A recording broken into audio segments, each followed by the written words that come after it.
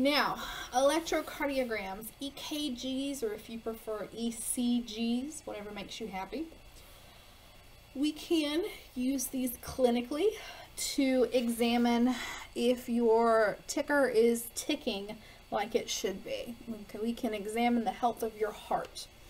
So we can graph the electrical activity occurring in your cardiac muscle cells okay, over a certain period of time. So you'll notice that we've got some waves, we've got some peaks, we've got some valleys, we've got uh, intervals and segments and complexes. We've got all kinds of things going on. So let's make sure we know what we are talking about. So electrical changes um, are called waves. Okay, so a P wave, a QRS wave, a T wave. Okay. These show changes in electrical activity. Okay. So something has changed electrically. Okay, if there was no difference, you do see these little um, flat lines. Okay, so if we see a positive wave, okay, this indicates that um, impulses are moving towards the electrodes that we have placed on your body. So if you've ever um, had an EKG, seen somebody have an EKG, um, watched Grey's Anatomy and had somebody have an EKG, you know that they put these electrodes on um, your chest and all over your certain places on your body. This is what we're talking about. Those are the electrodes. Now, a negative, a downward spike, and you see we do have two of those. Okay. Now these nerve impulses are moving away from the electrodes. Okay. The flat lines or the isoelectric lines, these are your baselines. Okay.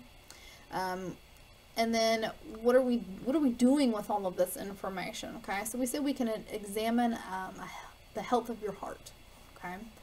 Um, if it looks like this every time and as long as it's not super fast or super slow then we know hey your heart is doing what it's supposed to do. But if this looks a little different or if it is extra slow or extra fast um, we can use that as a diagnostic tool to realize that something isn't quite right. So any kind of disturbance in the electrical rhythm. We call those either dysrhythmias or arrhythmias, and both of those are cause for concern.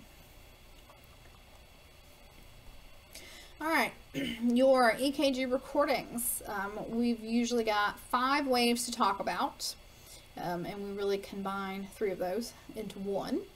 And these represent um, depolarizations and repolarizations of the heart. So depolarization Okay, remember we are opening sodium uh, channels. We are um, going from that resting membrane potential. We're shooting up. Um, and then repolarization, we're talking about now those potassium and those calcium channels. We are moving back down towards resting membrane potential. Okay, so P wave is our first wave. Atrial depolarization. Okay, so we have fired our SA node it has spread throughout the atria and we get atrial depolarization. Okay, we are depolarizing our atria. Mm-hmm. Then you, you will notice that we have this special complex, QRS complex. Okay, so we have five waves total, P, Q, R, S, T. QRS, we just kind of group them together. This is ventricular depolarization. So we have successfully depolarized your atria during the P wave. Okay. It should make sense that next comes the ventricular depolarization. Okay. We are doing this in response to your AV node firing now. Okay, so that signal has moved from the SA node, it's spread through the atria, it has now hit the AV node. Okay. While you are depolarizing your ventricles, your atria get to actually contract. Okay. So remember, depolarization is really just sending the message that it's time to contract. Okay. So atrial depolarization, we're sending the message out to the atria. Okay. We've spread the message in the atria. QRS, we have now started to spread the message in the ventricles while we are spreading the message in the ventricles, your atria get to actually contract. And they actually go ahead and start repolarizing as well. This portion, the atrial contraction and atrial repolarization, Um, they say that it's quote unquote hidden behind the QRS wave. You'll notice that this is a really tall wave, okay, and your atria um, really, we haven't seen um, quite a spike. And so if we kind of try to put this over here as well, it's just really going to be hidden by your QRS complex. Now, after this is finished, okay, we move on to the T wave, which is ventricular repolarization. Um, your ventricles, if they're repolarizing, that also means that they have already contracted and are going ahead and returning to their resting potential as well. Okay, so we are depolarizing your atria, we are depolarizing your ventricles, and we are contracting your atria. And then we start to contract your ventricles, and then we get to depolarize your ventricles. So there's a lot going on here. Okay, there's a lot going on here. Now, since um, the EKGs are measuring your electrical activity over a certain period of time, you're not just going to see one of these. You're going to have consecutive ones. Okay. Um, we can also use these intervals to determine if your heart is functioning as it should. Okay. So intervals, okay, and we have segments, and they're going to kind of teach us different things here. Okay, so your intervals um, include at least um, one component of a wave. Segments do not include any wave components. So intervals. You have an R to R interval, a P to R interval, and a Q to T interval. Okay, you can see our drawings here, what we're talking about. Okay. An R to R interval is the time between two successive R waves, so an R to an R, that should make sense. Okay. This represents an entire generation spread of an action potential. Okay, through the heart. So both the atria and the ventricles. We can use this to measure your heart rate. So we can count R to R intervals over a specific length of time and we can use that to calculate your beats per minute, okay, your heart rate. Now, a P to R interval, okay, beginning of the P wave to the beginning of the R wave. This is the amount of time it takes for depolarization to spread through the atria. Okay. This also includes the AV node delay. And then we have our QT interval, okay, beginning of the QRS complex through the end of the T wave. This is how long it takes for the action potential to spread through the ventricular um, chambers and get a ventricular contraction as well. Now, we mentioned segments also. We have an ST segment. Okay, so the beginning of the S wave to the beginning, or, or excuse me, end of the S, the beginning of the T. This is one of those flatlined periods. This is the plateau phase of the ventricles. There is no net change electrically. Okay. Remember, we are prolonging depolarization here. We are not furthering um, any membrane potential change. If this is not a flat line, okay, if it is elevated or if it is depressed, um, this can be a sign of some clinical conditions, perhaps um, myocardial uh, infarctions, heart attacks, um, or ischemia, things like that. All right, um, so just one last time, we've talked about atrial depolarization, we've talked about ventricular depolarization and atrial contraction, We've also got ventricular contraction and ventricular depolarization also. We said our R to R intervals can be used to measure our heart rate, um, and so forth and so on. So make sure you take a look at that. This is one of the more difficult topics okay, that we cover in the cardiovascular system. It just takes a little bit of practice. Okay. Now, we are very quickly, very briefly, going to mention how to um, interpret an EKG as far as measuring your heart rate. So we said that an R to an R wave can be used to determine your number of heartbeats per minute. Okay. Um, one R to R wave, the average time should be approximately 0.8 seconds. Okay. So each heartbeat should be about 0.8 seconds. So how do we come up with that number? We estimate how many big boxes. Okay, so you'll notice that we've got big boxes, big boxes, big boxes, and then we've got little boxes, little boxes, okay? So if we estimate the number of big boxes, okay, between your R waves, okay, then each of the big boxes is 0.2 seconds. Okay, so we should see okay, one, two, three, and our next R would be here approximately. Okay, so that will give us our 0.8 seconds.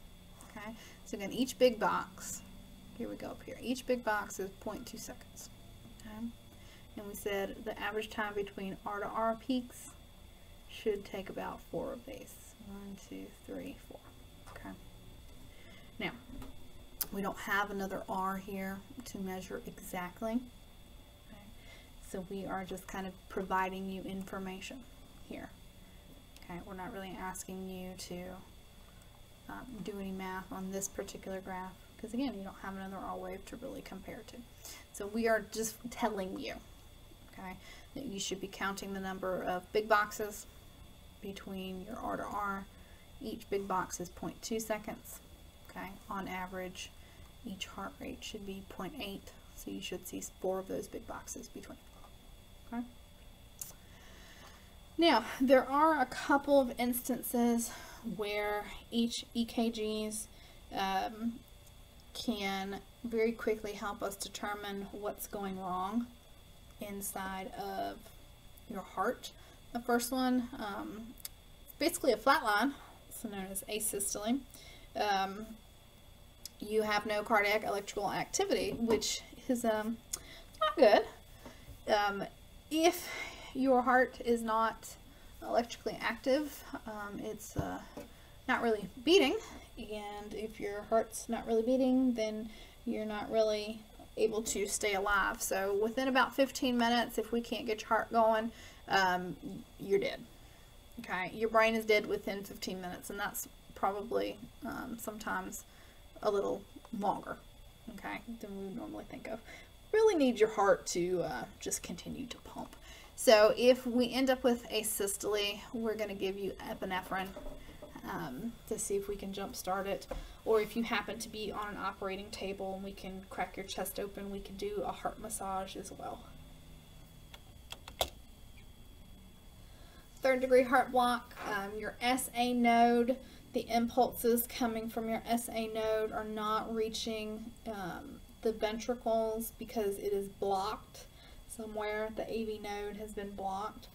So there's no longer a good relationship between the timing of your P wave and your QRS wave. Um, so remember your P wave is your atrial depolarization, your QRS wave should be your ventricular depolarization, but that signal is not getting there like it should because of this block. So you know, there's, there's this huge gap and then these little P waves are just not really making a whole lot of sense ventricular tachycardia or VTach, your SA node is no longer in control like it should be. Um, if this continues, um, this could be life-threatening, could lead to ventricular fibrillation, which we'll talk about um, next, could lead to asystole, which we just talked about um, a second ago, or could lead to death there's um, really this just looks like um, like shark's teeth or something y'all like this doesn't really resemble anything of our QRS that we just talked about a little bit ago so this is not good Ventricular fibrillation or VFib. Now your ventricles um, are not contracting in a coordinated fashion. Um, this it, it happens commonly in cardiac arrest patients. There's really no longer any measurable waves or complexes, so we don't have that QRS complex anymore. You can't really tell where, which ones of these would pass as a P wave or anything like that. So this, um, this is not good either. And then we have atrial flutter. Your atria are going to contract rapidly. This could turn into atrial fibrillation, which we'll talk about next. Um, they say this has a sawtoothed appearance. Um, so if you think of like a handsaw or something, I guess these look like teeth. Um, the atrial rhythm um, is regular if your AV node conducts your impulses in a consistent manner. Um, atrial rate is 200 to excuse me 250 to 350 beats per minute um, while the ventricular rhythm is usually regular. So that's kind of weird. So your atria have lost their minds. They are just um, running sprints, and your ventricles are like, eh, I'm good. I'm just going to continue to beat at my nice normal rhythm. Um, so this is bad because it could lead to atrial fibrillation or fib fibrillation. That's hard to say. Um, so again, these all just look kind of weird, right? So these tells your doctor like immediately, like, well, that's that's wrong. That's something's bad. So we have irregular contractions and irregular patterns. Um, so these are not spaced out equally like they should be. Um, and then they don't exactly look like they should either. So normally we didn't see all of all of these hills, all of these waves. Okay, we had a P wave, um, I don't really know where our P wave went. Here this kind of looks like maybe a P wave, um, but um, this just this is just wrong. Okay, your atria, um, they are contracting so quickly that they're basically just quivering. Um, could exceed 350 beats per minute. Um, your ventricles may or may not have controlled rhythm either. So one thing we haven't really talked about is the overall function of your atria and your ventricles. Your atria, their job is to basically fill with blood, and then your ventricles are basically um, supposed to pump that blood either out to your lungs or out to your body. So if your atria are beating this quickly, it's really hard to fill with blood like it's supposed to. Um, your ventricles, if they are, even if they are beating rhythmically like they are supposed to. Um, they may not actually be getting a whole lot of blood coming from the atria anyway, and so they aren't able to pump blood out to your body quite like you are supposed to.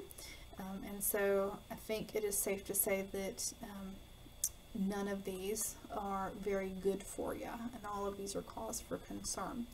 Um, so this is just a recap slide so you can compare all three, or all three, all, all five of them side by side and just take a look at these um, descriptions one more time just to kind of familiarize yourselves with some of the um, some of the options here.